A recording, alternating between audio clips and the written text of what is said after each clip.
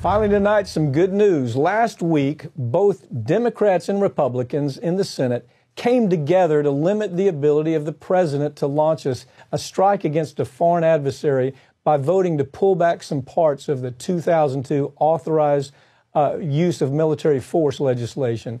Similar legislation was, was passed by a bipartisan majority in the House earlier this year.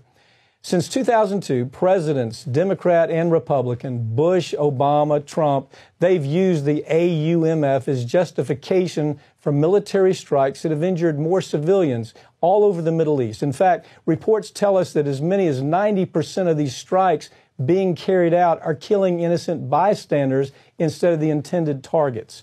Both Democrats and Republicans are responsible here. Both Democrats and Republicans understood that the decision to launch a military operation requires thought, planning, and debate. The 2002 bill took away thoughtful analysis and gave too much power to the executive branch. That constitutionally should be part of what Congress decides. And even though the bill will be vetoed, no question, Congress needs to keep trying. If they don't, we can look forward to a generation of presidents, both Republican and Democrats, launching revenge strikes across the globe without anybody looking over their shoulder. This isn't about politics. This is about accountability and oversight.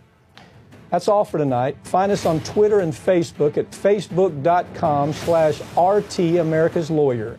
You can watch all RT America programs on DirecTV channel 321 and also stream them live on YouTube.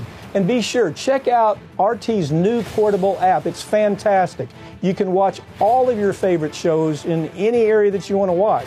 I'm Mike Papantonio, and this is America's Lawyer, where every week we tell you the stories that corporate media is ordered not to tell because their advertisers won't let them do that.